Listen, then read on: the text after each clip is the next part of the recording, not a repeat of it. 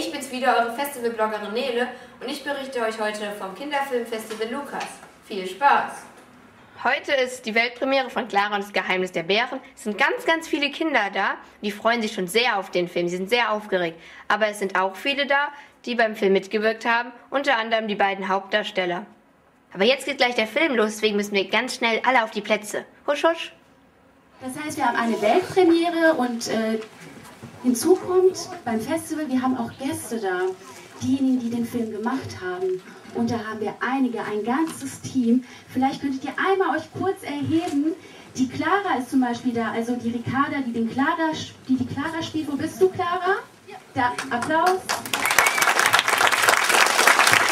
Der Damian, der den Thomas spielt, die neue, der neue Freund von Clara, genau. Damian. Und wir haben zum Beispiel auch den Regisseur da, den Tobias. Wo ist er? Ja, einmal da.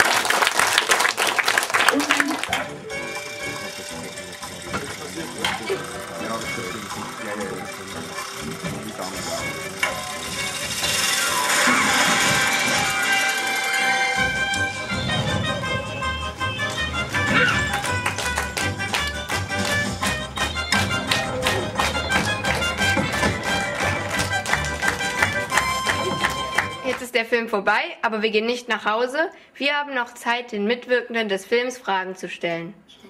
Wie ist es, wenn man in den Regen kommt? Was? Wer möchte die Frage beantworten? Du warst im Regen. Es ist nass.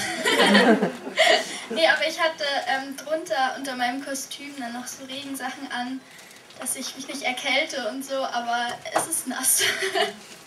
Jetzt ist es Zeit, ins Foyer umzuziehen, denn ganz, ganz viele Kinder warten schon auf den nächsten Film. Und im Foyer haben die Kids weitere Fragen an die Mitwirkenden des Films. Ich hingegen spare mir meine Fragen noch auf und entführe die anderen gleich zu einem Exklusivinterview.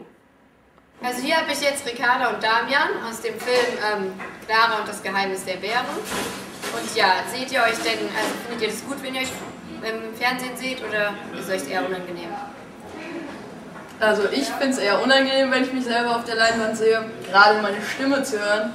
Also ich mag das nicht so gerne und ich denke dann immer nur so, ich kritisiere mich dann halt viel und denke dann wirklich so, oh nein, wie spiele ich das denn? Das muss man doch viel an, musst du doch auch zum Boden gucken oder weißt du was was. Ganz andere Sachen einfach, also ich bin dann sehr kritisch mit mir, würde ich sagen. Okay. Ja, also, also mir geht es genauso.